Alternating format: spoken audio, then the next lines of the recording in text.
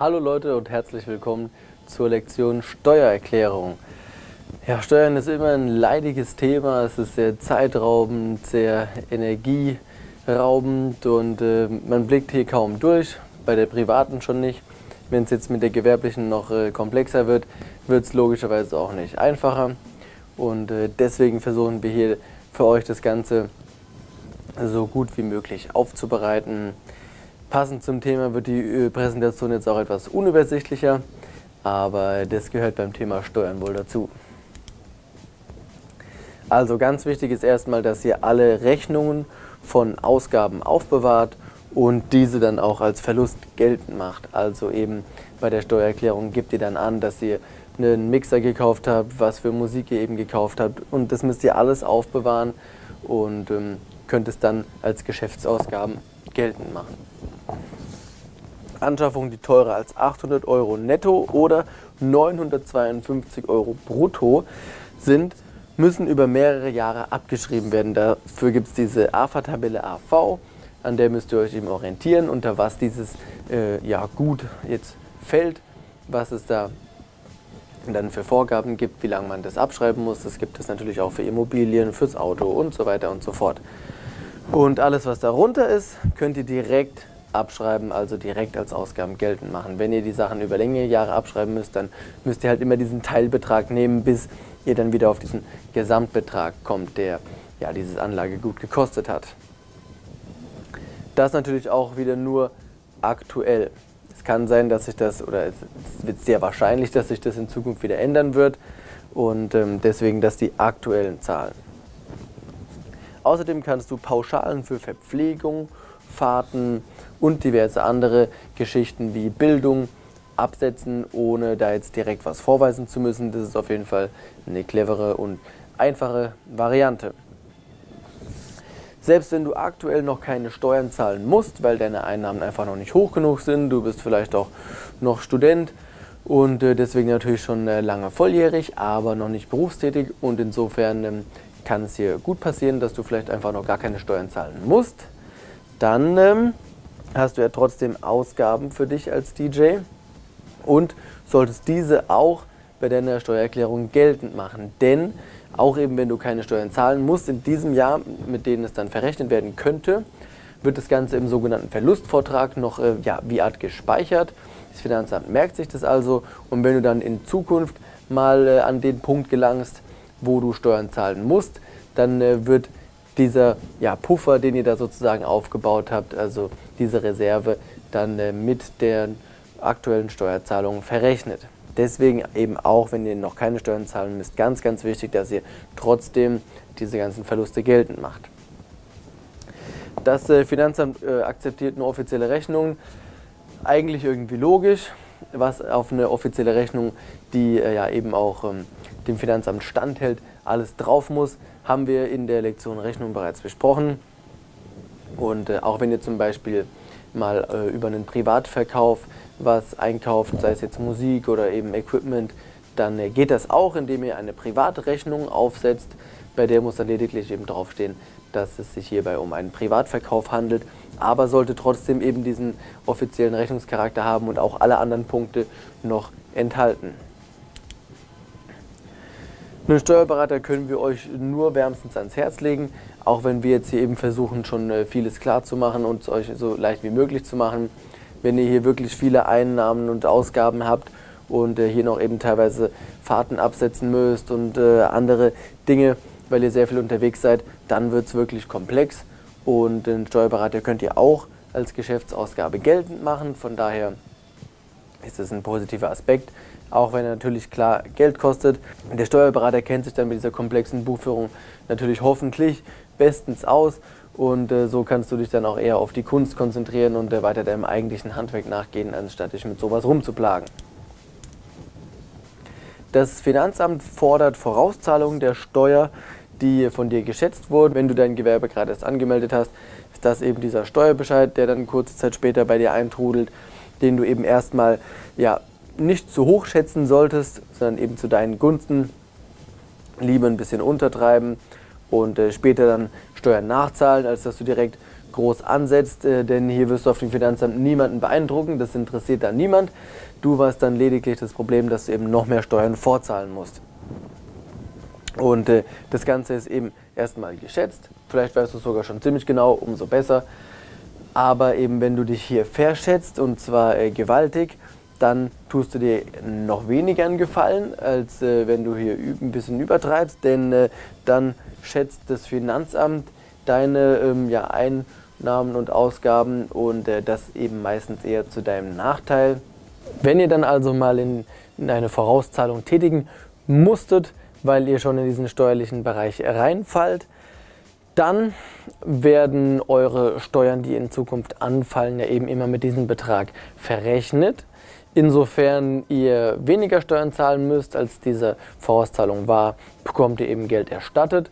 Und insofern es mehr war, wird dann der zukünftige Betrag eben an diesen Betrag angeglichen.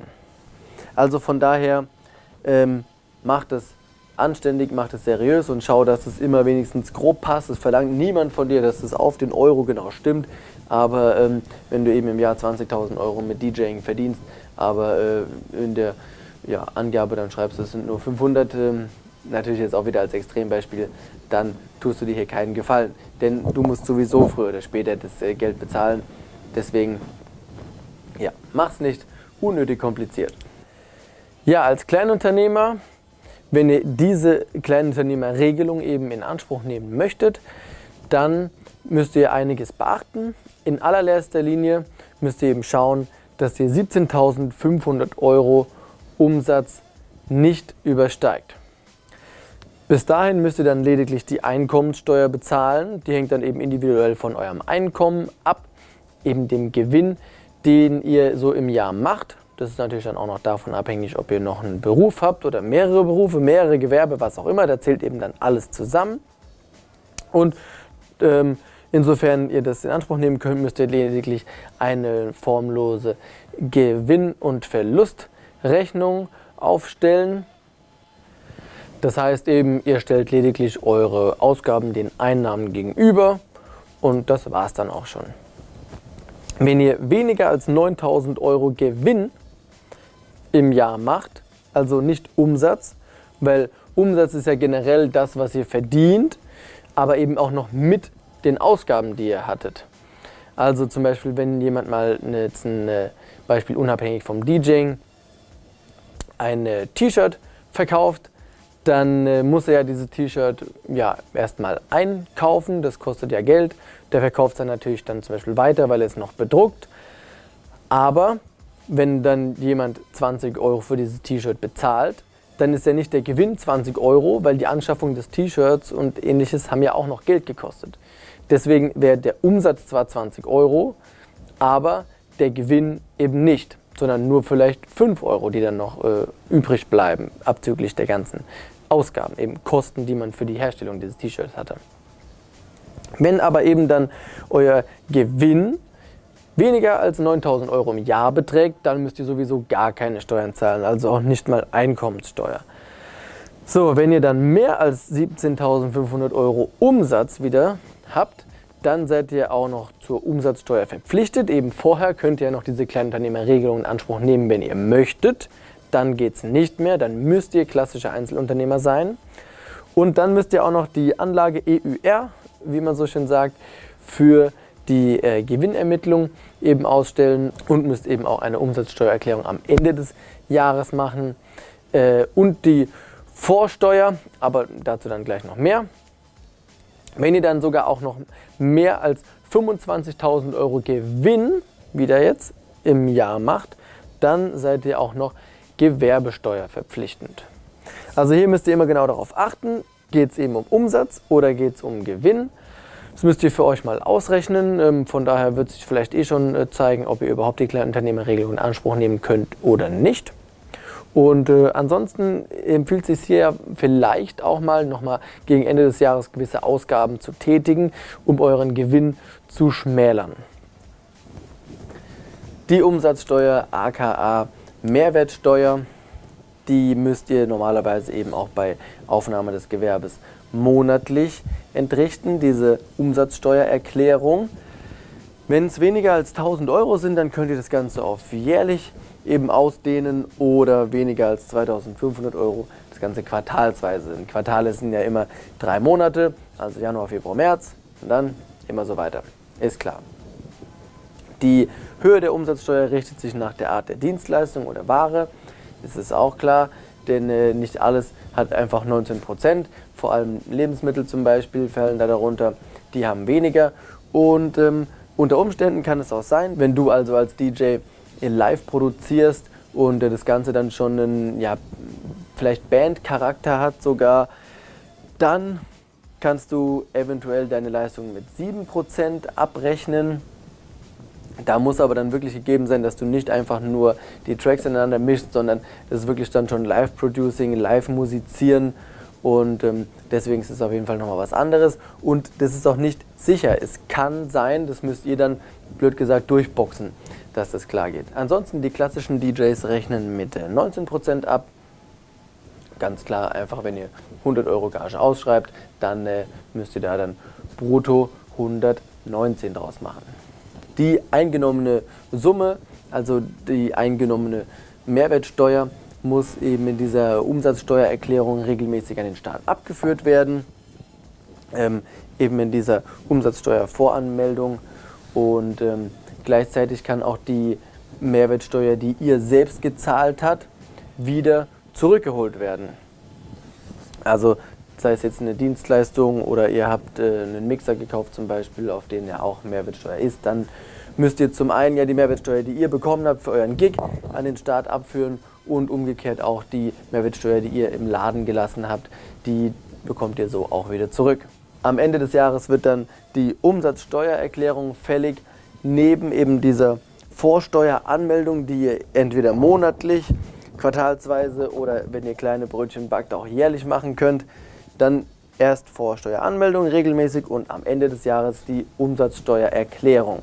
Hier wird das Ganze nochmal sozusagen zusammengefasst und beleuchtet und alles konkret abgewickelt. Obacht, hier müsst ihr aufpassen. Die Umsatzsteuererstattung aus anderen Ländern ist sehr aufwendig. Wenn ihr also viel im Internet einkauft und äh, euch hier Sachen aus China vielleicht sogar schicken lasst oder der Verkäufer sonst wo in Europa sitzt, dann ähm, wird es hier schwierig, wieder an die Steuer zu kommen denn ähm, hier müsste das Ganze ja eben ländergreifend laufen und es ist nicht mehr einfach nur Deutschlands intern. Ihr habt hier ja die Steuer auch, ähm, als ihr sie beim Einkauf gezahlt habt, ins Ausland transferiert sozusagen. Oft geht es dann auch nur am Ende des Jahres und nicht eben vielleicht monatlich. Und äh, sowieso ist der Aufwand hier enorm. Vielleicht müsst ihr euch noch durch fremdsprachige Dokumente wühlen, bis ihr es vielleicht mal irgendwie rausbekommen habt, wie ihr die Steuer zurückbekommt. Und äh, das Ganze dann vielleicht für einige wenige Euro. Also wenn wir hier schon über ein paar tausend oder ein paar hundert Euro reden, dann kann es Sinn machen, ja. Aber wenn ihr dann noch einen Experten einschalten müsst äh, oder es eben nur kleine Beträge sind, dann ähm, lasst es sein. Deswegen hier Augen auf, wenn ihr viel im Internet kauft zum Beispiel, denn ähm, da wird dann oft die Umsatzsteuer ins Ausland transferiert. Für internationale Konzerne gilt hier sogar noch die Möglichkeit, dass sie eventuell gar nicht mit Umsatzsteuer fakturieren, also eben ihre Rechnungen schreiben. Das ist zum Beispiel auch bei Beatport der Fall, denn wenn es hier internationale Rechnungen sind, also der ja, Dienstleistungs- und Warenverkehr ja international ist, dann kann es unter Umständen sein, dass hier gar nicht erst die Steuer ausgewiesen werden muss und äh, dann kannst du natürlich auch nichts zurückholen. Wenn du freiwillig die Umsatzsteuer fakturieren möchtest, eben, du kannst da freiwillig die Kleinunternehmerregelung in Anspruch nehmen oder eben auch nicht.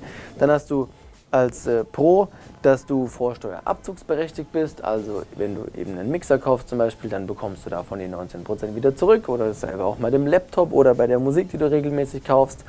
Außerdem ist das Ganze ein professionelleres Auftreten, denn äh, wenn jemand auf der Rechnung sieht, dass du hier die kleinen Unternehmerregelung in Anspruch nimmst, dann ist ja auch ganz klar schon, wie viel du verdienst, nämlich auch auf jeden Fall weniger als 17.500 Euro Umsatz. Und äh, deswegen ist das Ganze ja, ähm, ja, lässt du dir da ein bisschen in die Karten schauen und ähm, macht auf jeden Fall einen professionelleren Eindruck, wenn du die Umsatzsteuer ausweist. Ein Kontra ist, dass du für Privatkunden 19% teurer wirst und dass du ja mit der ganzen Vorsteueranmeldung und dann der Umsatzsteuererklärung deutlich mehr Arbeit hast oder dein Steuerberater mehr Arbeit hat äh, und das wird er ja dann auch wieder kostentechnisch auf dich umwälzen. Hier nur für Privatkunden, deswegen aufpassen. Wir haben ja schon gelernt, dass wir als Unternehmer vorsteuerabzugsberechtigt sind. Das heißt eben, dass der Clubbesitzer oder der Veranstalter, der ja auch ein Gewerbe angemeldet hat, die 19 Prozent, die du ihm ausstellst, auch wieder zurückholen kann. Deswegen, ähm, wenn euch hier ja, Veranstalter oder Clubbesitzer weismachen wollen, dass äh, das nicht geht, weil es dann zu viel wäre, das ist auf jeden Fall Quatsch. Dann äh, wollen sie dich entweder verarschen oder haben selber keine Ahnung. Denn ähm, sie dürfen eben auch die 19% wieder zurückholen. Und äh, insofern, wenn du irgendwo aufgelegt hast für eben, sagen wir einfach mal 100 Euro, dann rechnet es sich leichter. Und du entscheidest dich dann zum Jahreswechsel, ähm, die Umsatzsteuer zu faktorieren. Und dann im nächsten Jahr mit 119 Euro im äh, Club aufläufst und jemand sagt, nee, das sind mir jetzt äh, eben diese 19 Euro zu viel, dann kannst du sagen, das ist Quatsch. Und insofern es wirklich keine Absicht ist, sondern die Leute dich abziehen wollen, dann ist auch die Frage, ähm, was ist hier eigentlich der ähm, ja, tiefere Grund, warum man mit sowas um die Ecke kommt. Und hier stellt sich natürlich auch die Frage, inwiefern eine weitere Zusammenarbeit dann noch Sinn macht. Hier haben wir nochmal ein kurzes Beispiel jetzt, ein Rechenbeispiel. Und zwar, wenn du vorsteuerabzugsberechtigt bist, dann kaufst du einen Mixer für 1000 Euro. Da sind ja 19% schon drin. Das ist das, was du im Laden lässt. Dann hast du noch einen Gig. Für den bekommst du 1000 Euro Gage. Setzt dann noch die Umsatzsteuer drauf. Also eben 1000 Euro plus 19% sind wir bei 1190 Euro.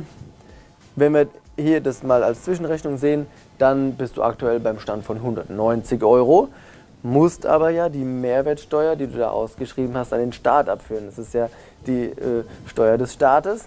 Und äh, deswegen landen wir dann zwischenzeitlich wieder bei Null. Jetzt darfst du aber ja dir die 19% Mehrwertsteuer, die du vorher für den Mixer bezahlt hast, wieder zurückholen. Also landen wir wieder bei plus 190 Euro und somit hast du unterm Strich bei einem äh, Mixerpreis von 1000 Euro und einer Gage von 1000 Euro plus Mehrwertsteuer 190 Euro verdient. Wenn man jetzt die Kleinunternehmerregelung benutzt, dann sieht die Rechnung ganz einfach aus. Du hast einen Mixer für 1000 Euro gekauft, da sind 19% Mehrwertsteuer drin, ganz klar. Du hast eine Gage bekommen für 1000 Euro mal bei deinem Gig, kannst aber sonst nichts machen, du bekommst keine Steuer zurück, musst auch keine Steuer abführen und insofern ist die Rechnung ganz einfach null. So, das heißt natürlich, wenn du vorsteuerabzugsberechtigt bist und einiges an Ausgaben hast, dann ähm, macht es schon Sinn, dass du eben diese Regelung in Anspruch nimmst. Insofern du hauptsächlich an Privatkunden deine Rechnungen äh, schreibst, weil du eben Mobile DJ bist und hier eben dann viel auf Hochzeiten, Geburtstagen und so weiter auflegst und noch dazu wenig Anschaffungen hast, wo du dir die Mehrwertsteuer wieder zurückholen kannst, dann kann es unter Umständen Sinn machen, dass du diese Kleinunternehmerregelung in Anspruch nimmst. Oder eben, wenn du noch sehr in den Anfängen bist und dich nicht mit der Bürokratie jetzt ja so überlasten möchtest, dann ähm, kann es Sinn machen, die Kleinunternehmerregelung in Anspruch zu nehmen. Aber insofern du ja schon eine, eine größere Karriere hast und hier auch größere ja, Einnahmen und Ausgaben zustande kommen, dann macht diese Variante auf jeden Fall mehr Sinn, denn unterm Strich, seht ihr ja, bleibt dann mehr bei dir hängen. Eben dieser ganz wichtige Faktor mit ähm, dem, dass du an Privatpersonen eine Rechnung schreibst oder an Gewerbliche, ist ein ganz wichtiger Punkt, den du dir hier überlegen solltest, denn diese Geschichte musst du ja dann auch schon bei deiner Gewerbeanmeldung beachten. Deswegen, wenn du an Privatpersonen schreibst, dann ähm, ist es hier die Frage, ob das wirklich Sinn macht, denn 19% Mehr ist schon ein ganzer Batzen, das ist äh, ja fast ein Fünftel. Und ähm, wenn du hier dann einfach ein Fünftel teurer wirst im Gegensatz zu deiner Konkurrenz oder eben einfach ähm, 19 Prozent im Vergleich zu früher, was sich die Leute dann vielleicht nicht mehr leisten können, da ist eben fraglich, ob du dir hier nicht ja riskierst, dass du deine Aufträge verlierst. Wir hoffen, du konntest in dieser Lektion einiges mitnehmen. Insofern du noch Fragen oder Anregungen zu dieser Thematik hast, dann schreib uns gerne eine E-Mail. Diese findest du hier unter dem Video. Wir sehen uns dann gleich wieder in der nächsten Lektion und wünschen dir bis dahin alles Gute.